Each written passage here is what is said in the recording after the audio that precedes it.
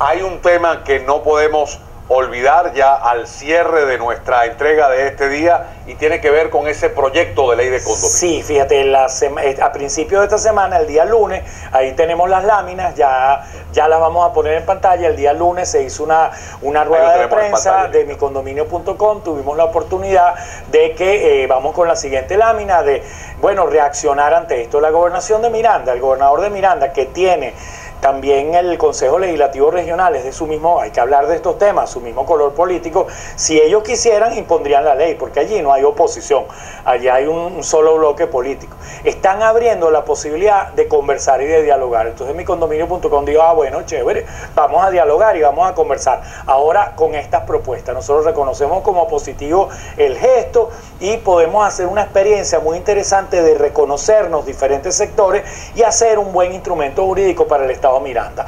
Esto nosotros proponemos que esto regule a los condominios de casas y de apartamentos más allá de la propiedad horizontal, porque eso incluiría a los condominios de casa, a las calles cerradas, a los condominios de urbanizaciones privadas y también a los centros comerciales, edificios de oficinas y consultorios. Y lo más importante es que incluyamos a los que viven en, la, en el INAVI, en vivienda del INAVI, de la Gran Misión Vivienda Venezuela. La Gran Misión tiene una ley, una ley que los condena a ser ciudadanos de segunda, Juan Eleazar. Fue una ley que no fue hecha como esta, que está proponiendo Miranda. Miranda está, quiere conversar. Esa ley se hizo por una vía habilitante, no se conversó ni con los habitantes. Entonces, los, de los conjuntos de la gran misión son ciudadanos de segunda, no tienen una cantidad de derechos y de ventajas que tienen en la ley de propiedad horizontal. Vamos con la siguiente lámina.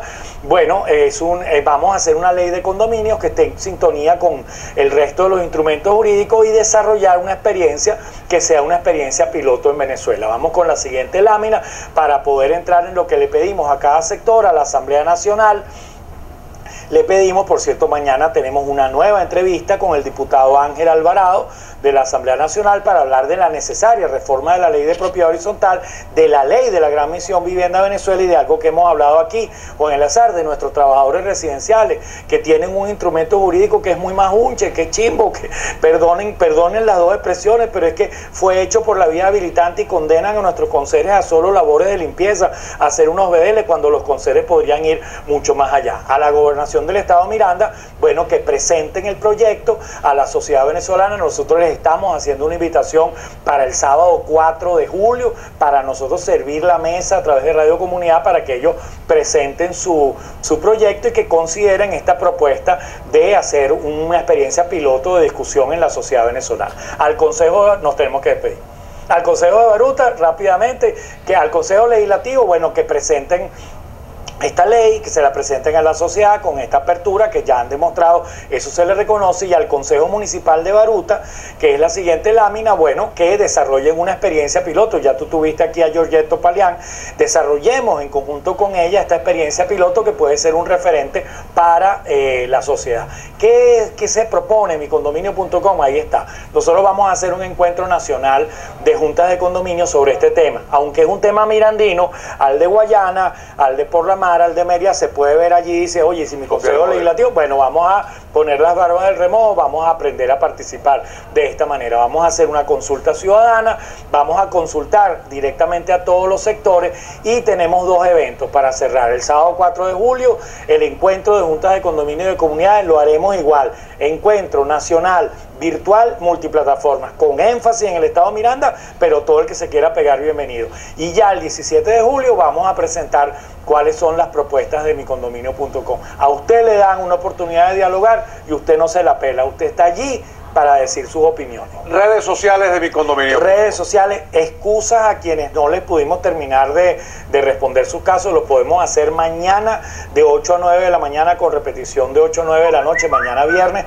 en el programa micondominio.com en la radio para terminar con ello www.micondominio.com. Todo el que escribe ahí lo atendemos y le decimos cuándo le vamos a recibir el caso, a responder el caso.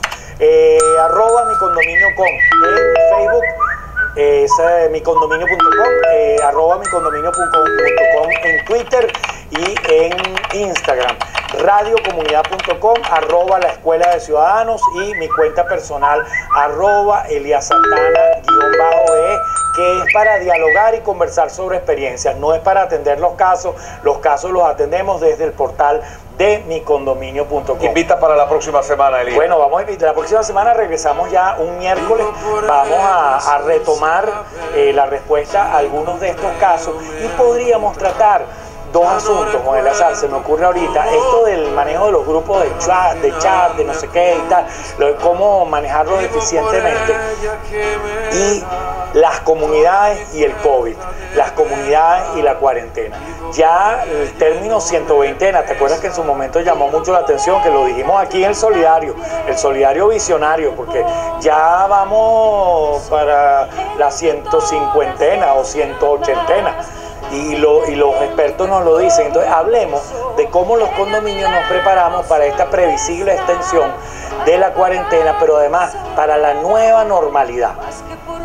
Va a haber una nueva realidad en las relaciones interpersonales en el planeta y vamos a ver cómo la vamos a vivir en los condominios. ¿Te parece? lo vamos a ver en profundidad. Elías Santana en esta alianza de mi condominio con, con el Solidario de la Televisión. Vamos a irnos con este tema, una petición musical. Andrea Bocelli. Oye vivo por ella. Y así cerramos mi condominio con siempre acompañando musicalmente. Feliz cumpleaños, Un abrazo. Chévere.